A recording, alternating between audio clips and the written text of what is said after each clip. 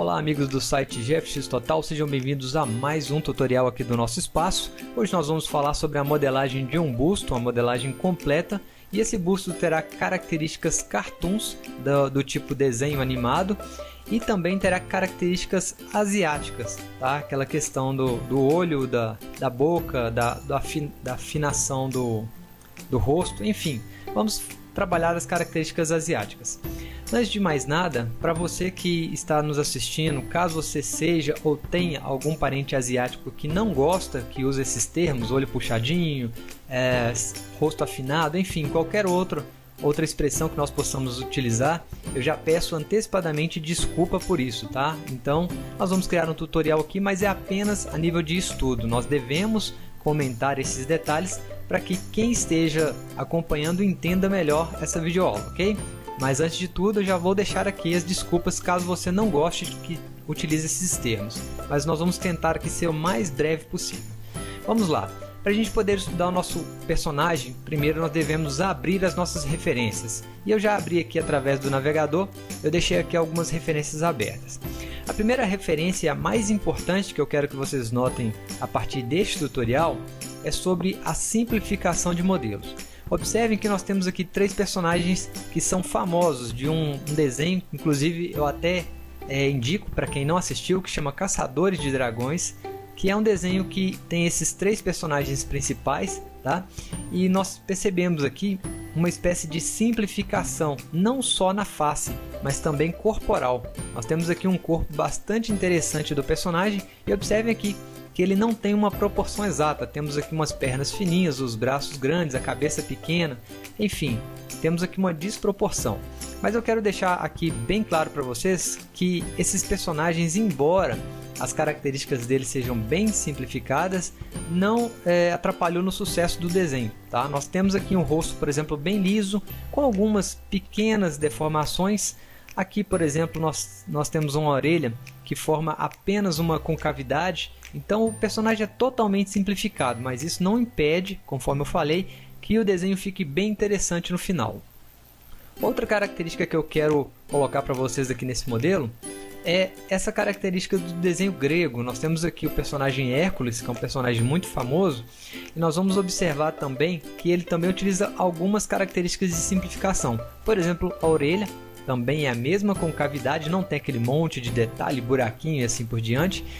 Nós temos aqui a testa ligada juntamente aqui com o nariz, então eles descem aqui como se fosse um mesmo plano e também um afinamento do queixo, o que acontece também na, em alguns rostos asiáticos. Nós temos os, os rostos, eu me confundo um pouco, mas temos os orientais e os ocidentais. Então nós temos um que é um pouquinho mais, mais afinado no queixo. Tá? Vocês vão procurar aí, claro, cada um vai fazer o seu dever de casa, vai procurar saber e vai perceber que os rostos eles diferenciam um pouco.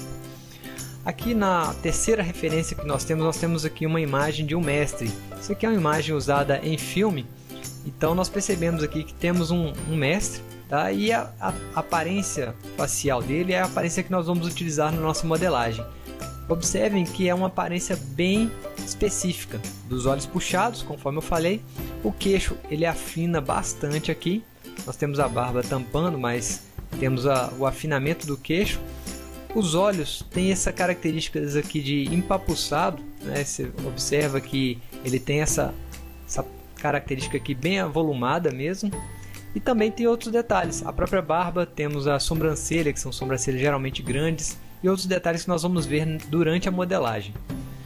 Outro resultado aqui é um lutador famoso que atuou bastante aí no cinema, tem bastante característica para a gente poder copiar dessa referência aqui, dessa face. Então já deixei aberto aqui para a gente poder utilizar. Temos os desenhos do Naruto, do mangá também, que trazem características para a gente, que são a afinação do nariz, a boca, ó, esse bigode, né, que, que também é bastante usual em desenhos. E aqui nós temos somente dois desenhos simples que eu separei aqui, mas não vão influenciar muito não, tá? Então voltando aqui à nossa modelagem, ao nosso ZBrush, vamos abrir aqui o programa, fechar aqui o Lightbox. Aliás, eu vou abrir novamente esse Lightbox, mesmo botão, e vamos abrir aqui o Default Dynavox, tá? que seria uma esfera aqui que já vem aqui com o Dynamesh aplicado. Então vejam que a simetria já está aplicada a ela. Temos aqui o Dynamesh, que está ativado nela por padrão, já vem ativado. Vou marcar aqui com 128 o nosso Dynamesh. E agora já podemos começar a modelar esse personagem. Então, inicialmente eu não preciso olhar as referências, eu preciso apenas fazer um rosto. Então, para a gente poder fazer um rosto, vou utilizar a ferramenta Move. Então, vou tentar fazer aqui um rosto bem parecido com o rosto humano. Então, vamos puxar aqui algumas partes para lá, outras para cá. Vou puxar aqui o que seria o pescoço, aqui o que seria o ombro. E observem que o tempo todo eu estou trabalhando aqui dentro da simetria, tá? Tudo que eu faço de um lado é executado do outro lado. Vou fechar aqui, fazer aqui a espécie da testa, cabeça e o queixo. Um detalhe importante aqui para a gente poder acompanhar é o desenho do queixo. O queixo ele nunca pode ficar assim não, tá? Negativo não. Nós devemos fazer aqui ele bem suave. Isso também é muito usual aí em quem está aprendendo a modelar. Deixa o queixo negativo e dá uma característica estranha no desenho. Mas por enquanto é só isso. Tá? Vamos fazer aqui um rosto. Aqui eu vou fechar como se fosse o olho. Vou puxar aqui o nariz, já diretamente junto com a testa. Vou reduzir um, o tamanho dessa cabeça um pouco. E observem que até agora só estou utilizando a ferramenta Move e a Smooth, que é o Shift. Apertei o Shift ela vai suavizar. Agora eu tenho que fazer a retopologia. Observe que a topologia começa a esticar. Então vou arrastar aqui a minha máscara e a topologia vai ser automaticamente refeita. Aqui eu já posso fazer aqui uma, uma nova deformação. Vou subir aqui o contorno do queixo. Sair aqui também do nosso wireframe. E observem que aos pouquinhos o rosto ele começa a aparecer. O rosto com esse estilo oriental que eu havia falado, tá? Claro que ainda é algo bem inicial, nós ainda não definimos nada, mas daqui a pouco vamos começar a ver. Para poder melhorar essa modelagem, eu vou reduzir o Dynamesh de novo para 64. Vamos reduzir aqui um pouquinho. E assim nós temos uma facilidade maior para modelagem, já que o nosso polyframe ele fica reduzido. Agora eu vou mudar o brush um pouquinho, vou mudar para Standard e vou fazer aqui algumas deformações da, do pescoço do personagem, do queixo. Por exemplo, aqui eu vou afinar um pouquinho o queixo, fazer uma linha delimitadora do queixo, fazer a orelha aqui também. Tá, vamos deixar já uma pequena expressão aqui da orelha. No rosto, o procedimento é só fazer as linhas do rosto, as linhas faciais. Vou fazer aqui uma, uma linha da, da bochecha, né, que seria a maçã do rosto. E agora eu vou voltar para minha ferramenta Move e continuo alterando aqui. Vejam que aos pouquinhos vai aparecendo. Claro que o processo é muito devagar, é muito lento mesmo, é natural isso, tá? nós vamos aos pouquinhos aí alcançando nosso formato. É importante, antes de começar a modelar high poly, ou seja, com muitos polígonos, é importante buscar pelo menos a aparência inicial do modelo, tá? ou seja, o que seria aquela aparência inicial do nosso modelo.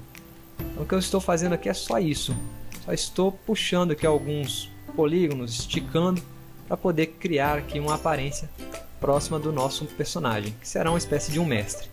Aqui eu vou puxar o que seria o nariz dele, vou fazer a ligação do nariz com a testa. Então vejo aí que ligamos o nariz com a testa, tá? Claro que por enquanto não vai aparecer muito bem, mas daqui a pouco nós vamos ver direitinho. Aqui eu vou puxar seria a sobrancelha. Puxamos a expressão facial dele um pouquinho para frente. Sempre lembrando dessa, desse desenho suave, essa curvatura que faz aqui no rosto, tá? Então vou suavizar aqui um pouquinho mais. E observe que bem lentamente o desenho ele vai tomando forma. Outra coisa também, o pessoal deve estar se lembrando aí, nós já temos um tutorial sobre modelagem facial, tá? Então se você não tem experiência alguma no EasyBrush, mas quer aprender, então acesse o nosso tutorial que vai ter aí mais artigos para você aprender, ok? Então, ok, temos aqui já a expressão facial inicial, tá bem inicial ainda. Temos que consertar aqui, por exemplo, as orelhas. Toda vez que eu aperto o botão Space vai aparecer essa caixinha, natural também, tá?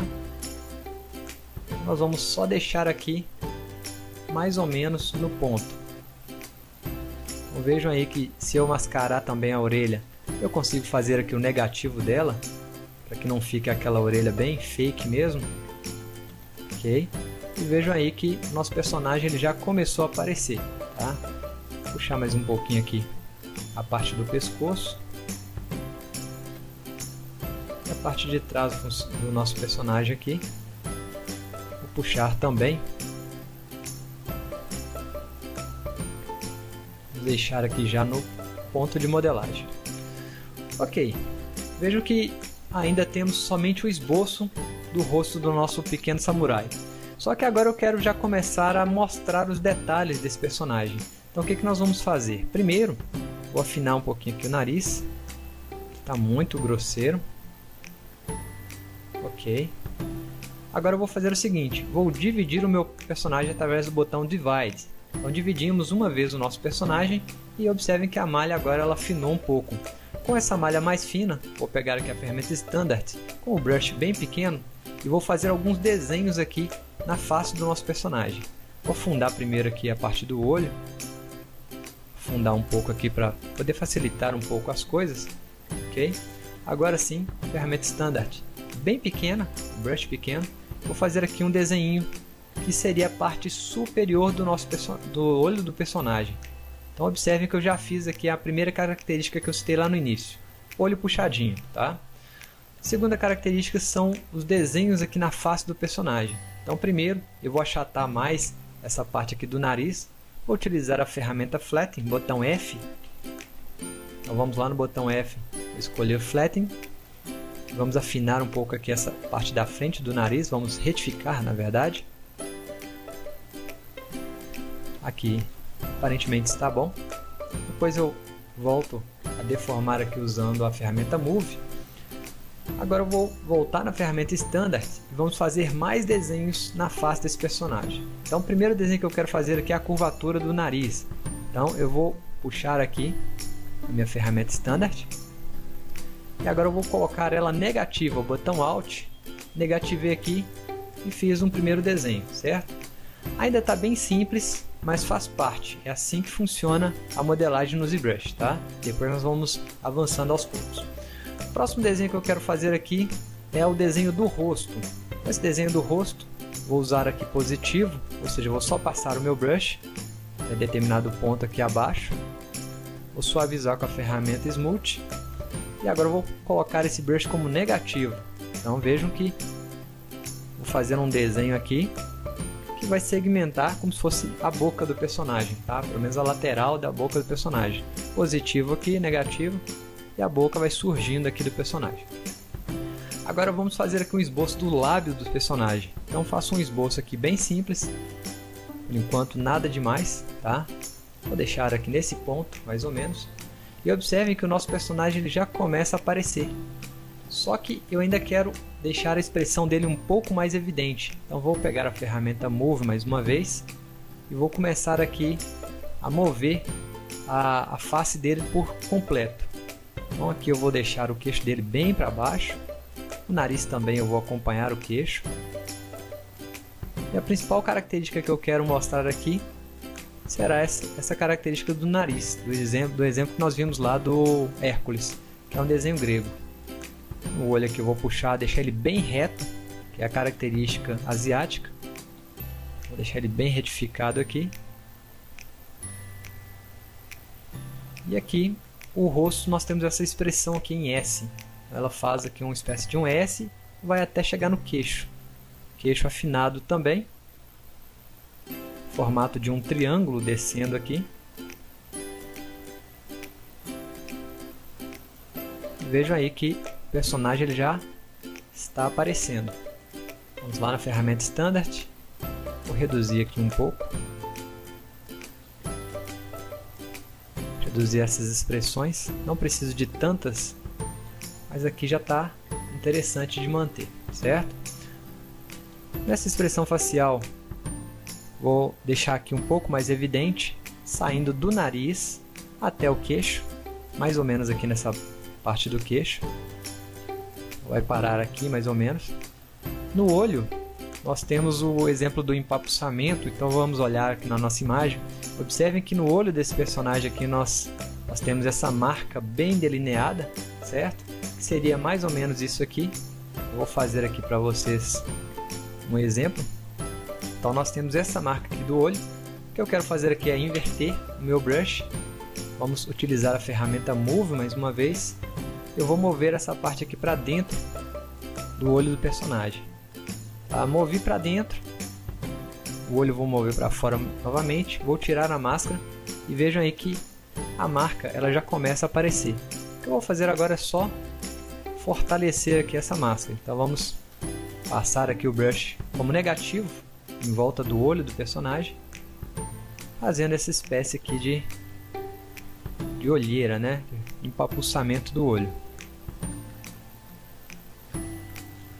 Observem que já apareceu um pouquinho. Vou lá na minha ferramenta Move e puxo um pouquinho para baixo aqui para poder regular. Ela não pode ficar tão próxima do olho, porque aqui na verdade nós vamos abrir o olho ainda. Aqui somente a parte de cima do olho. Vou deixar aqui essa espécie de empapuçamento aqui do lado. E observem que o personagem já adiantou bastante. Agora eu vou fazer aqui um, uma espécie de speed modeling, já que eu já expliquei bastante coisa até aqui, para a gente poder acompanhar com mais tranquilidade o final desse tutorial. Então vamos lá, vou pegar a ferramenta aqui Move, ferramenta Standard também, e vamos só reforçar aqui a aparência do nosso personagem. Tá? Então Pego a ferramenta Move, ferramenta Standard. Vou puxar aqui, que seria também parte do empapuçamento do olho, que é onde acontece essa parte aqui caindo sobre o olho, certo? Então nós temos isso também acontecendo aqui no nosso personagem. Podemos utilizar o Brush Inflate, o Brush Standard. Eu costumo utilizar o, o Move por, por, mais, por ter mais costume com essa ferramenta, tá? mas você pode utilizar aí qualquer brush. Aqui eu vou fazer uma pequena marca, somente para poder dividir aqui o rosto do personagem. Vamos reforçar aqui também.